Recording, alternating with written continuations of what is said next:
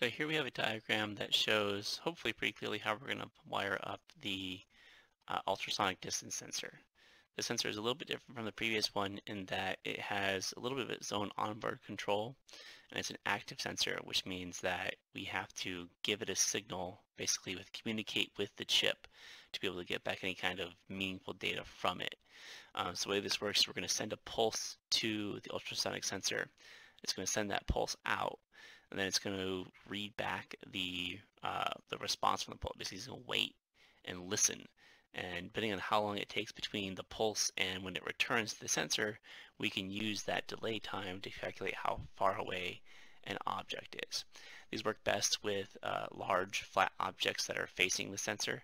Um, and they have a pretty you know, reasonable range up down to a few centimeters and up to um, one, one and a half, maybe two meters, depending on how big the object is you're looking at.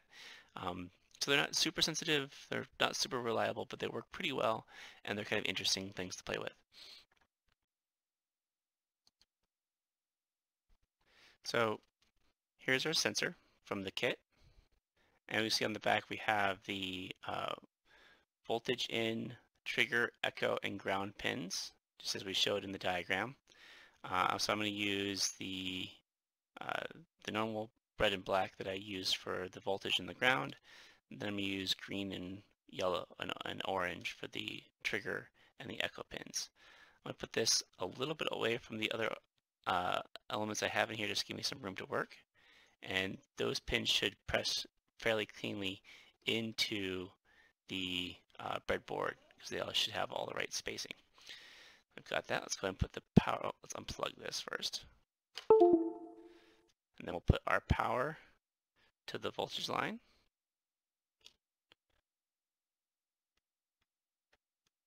And we'll put our ground to our negative line, which again connects to ground. And our voltage is connecting to our 5 volt voltage, 5 volt source on the Arduino. And then I'm going to refer back to my diagram here.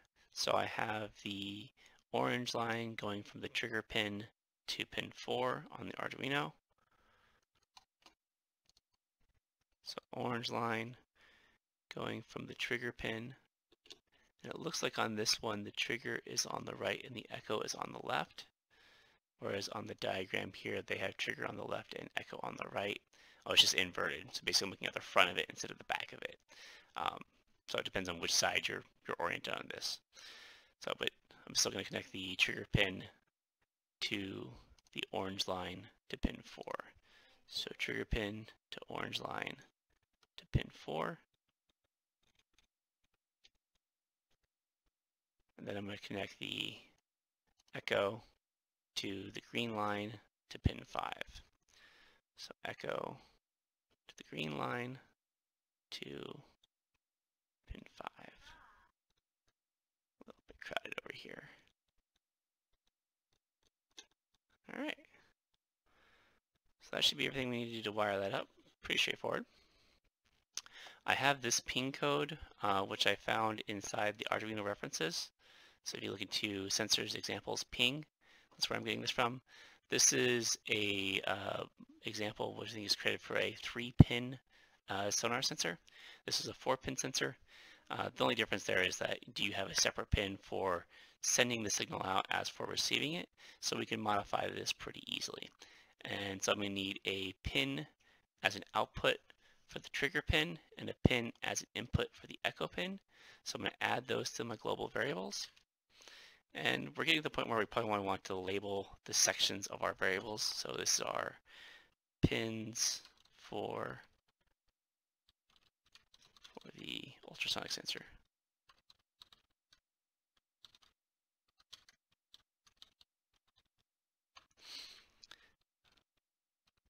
So I have my trigger pin.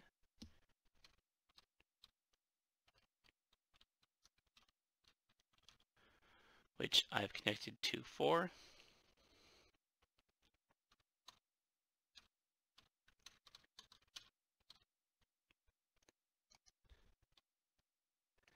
and I have my echo pin, which is on 5.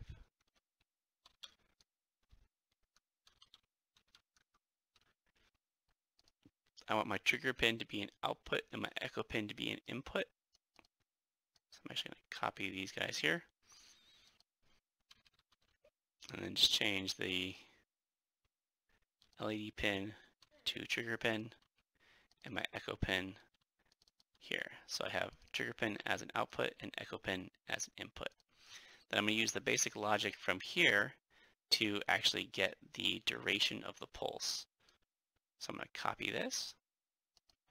I'm going to come over to my code. I'm going to paste it in. Again, I'm using Control C to copy and Control V to paste. Now I gotta use the names that I'm using here, so I'd actually have the output already set, so I don't need that one. I'm using my trigger pin to generate the pulse.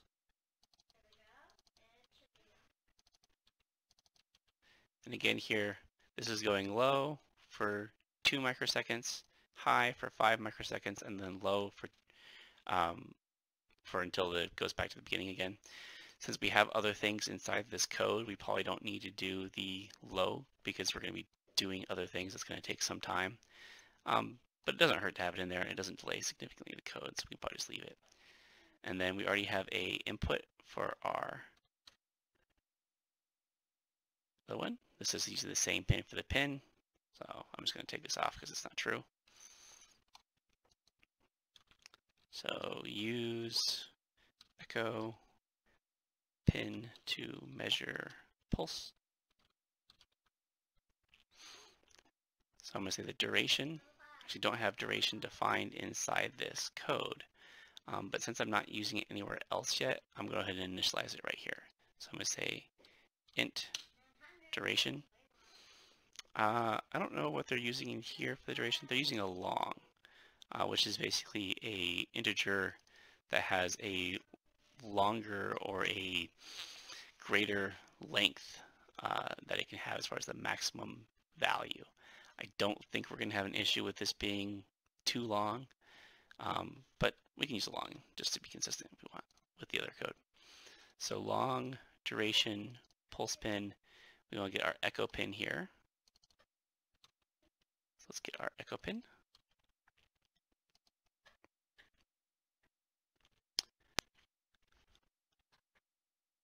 And so we're looking for when the echo goes high.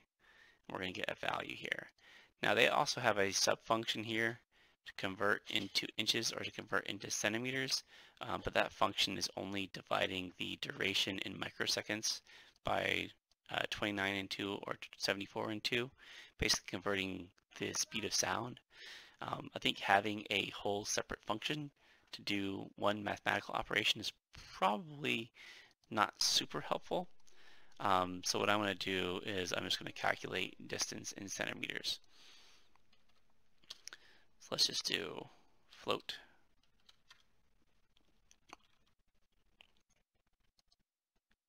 We're going to call this distance. I'm going to do duration. I want to do the same centimeters conversion, so I'm going to copy this part. Divided by. I'm also going to put 0.0 at the end of these. The reason I'm doing 0.0 at the end of each of them is I want it to treat these as decimal values or floating point integers, which allow for decimals. Uh, if I don't put the decimals there, then my distance is always going to be a whole number value, and so I may have rounding errors. And um, I don't want that. I want it to be a, an actual whole number.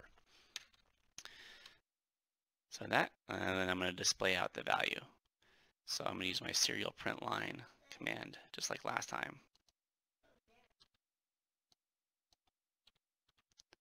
And we'll say that the distance of count will just make this our distance in centimeters.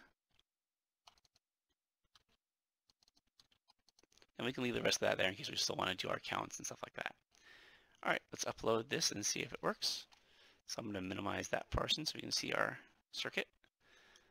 Plug it in and upload the code. I'm trying to use my uh, paper from our photoresistor to the measurements there.